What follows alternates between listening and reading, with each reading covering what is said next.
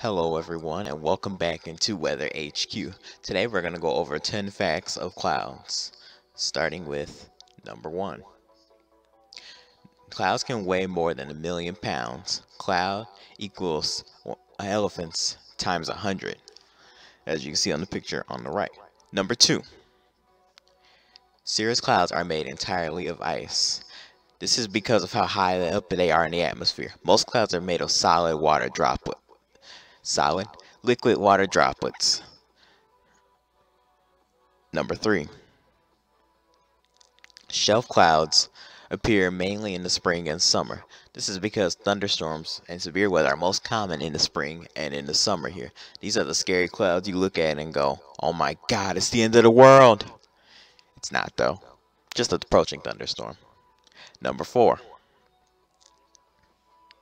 cirro means high. Hence, we got cirrocumulus clouds, as you see in the picture, cirrostratus, and cirrus clouds. These are really high up in the atmosphere and are often associated with a departing storm. Number five, alto means middle. These are middle level clouds in the atmosphere.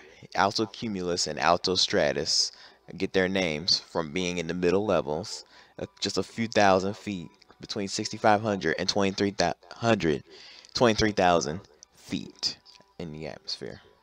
Number six, strato means low. Strato cumulus, stratus clouds all sit very low. As you can see in the picture, these are all look like they're almost touching the ground as you get closer to the horizon line here. That's because of how low these clouds are. Number seven. Nimbostratus, cumulus, and cumulonimbus are multi-level clouds here. You'll often see these, you can see these look like they're about to touch the ground and also look like they're about to touch the sky, even as high up as 60,000 feet with the cumulus nimbus clouds. Number 8. Cumulus nimbus clouds are responsible for thunderstorms and tornadoes. These are the clouds that are that grow really tall, thousands of feet, like I just mentioned, and is usually the reason why it gets so dark before a storm because they're just towering, they're thick, they can block out all kinds of sunlight. Number 9.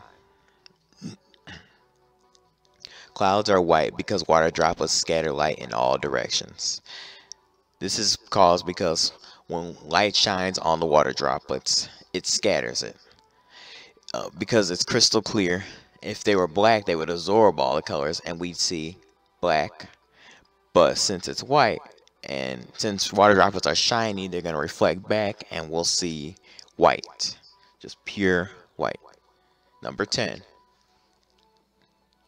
Nimbus means rainy cloud in Latin. Hence, nimbostratus, cumulonimbus, both clouds have this in common. They produce rain. And nimbostratus are typically dark, and underneath cumulonimbus cloud is typically dark too. It actually also means dark cloud. Fun fact. And thanks for watching. Don't forget to like, comment, subscribe, and hit that bell if you want to see more videos like this. Please leave feedback. That's always greatly appreciated. And let me know if you want a part 2 or what other top 10 weather videos you want to see. Have a great day.